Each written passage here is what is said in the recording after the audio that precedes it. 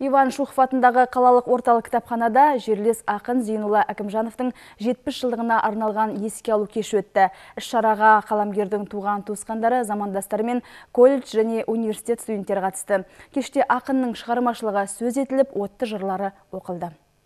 Зейнолла Әкімжанов солтүстік Қазақстан облысы Жамбыл ауданы Амангелді ауылында 1951 жылдың бірінші шілдесінде дүниеге келген. Ақынның анамның арашасы, сегіз сері, қара сөзбен жазылған шебер поэмасы халық жүрегінен орын тапты. Мұнымен қоса қаламгер ақиық ақын Мағжан Жұмабаевқа арнап өлеңдер жазды. Бұдан бөлек республикалық айтыстарға қатысып жүлделі орындарға ие болды. Қалалық орталық кітапханада бас қосқан зиялы қауым өкілдері жерлесіміз туралы өздерінің естеліктерімен бөлісті ол кісі енді өте дарынды болатын өте батыл болатын бала күнінен.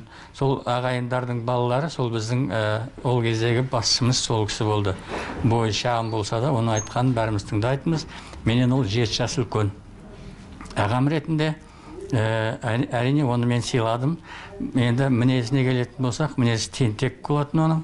Ешкім тыңдамайтын өзі дегені болмаса болмайтын кісі. Оқырманға журналист ретінде жақсы таныс зейнолла әкімжанов бірнеше жыл облыстық солтүстік қазақстан газетінің мәдениет бөлімін басқарды. 1993 жылы жер ұйық 2001 жылы мизам шуақ атты жыр жинақтары жарық көрді. Мұнымен қоса ол шетелдік ақын жазушылардың көптеген туындыларын аударып қазақшалаған. Іс шарада ақынның жұртшылыққа танылып үлгермеген нұрлы шуақ кітабы туралы сөз етілді.